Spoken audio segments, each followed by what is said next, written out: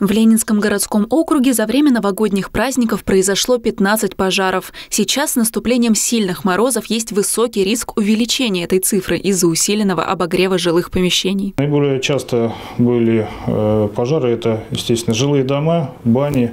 Сгорел автомобиль один в поселке Володарского. Жители частных домов в это время года обычно топят печи и бани. В МЧС предупреждают, использовать легковоспламеняющиеся жидкости для розжига ни в коем случае нельзя, так как это часто становится причиной возникновения пожара. Печи должны соответствовать всем необходимым требованиям, не иметь никаких трещин. Если горючая поверхность э, перед топкой из сгораемых материалов, то необходим обязательно притопочный лист, который должен э, быть не менее 50 см на 70 см. Между окончанием топки печи и сном следует подождать два часа. Нужно убедиться, погас ли растопочный материал и не поступает ли в помещение угарный газ.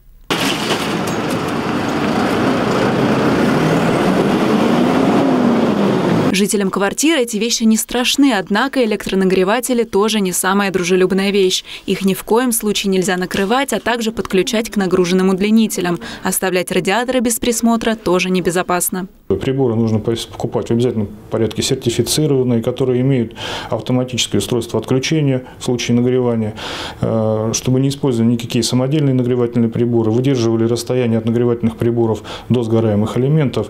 Сотрудники МЧС в это время года часто проводят профилактические рейды, напоминают жителям о необходимости соблюдения правил пожарной безопасности и раздают памятки. В условиях понижения температуры эта работа усиливается. Особое внимание уделяется жителям старых домов, в которых используется печное отопление.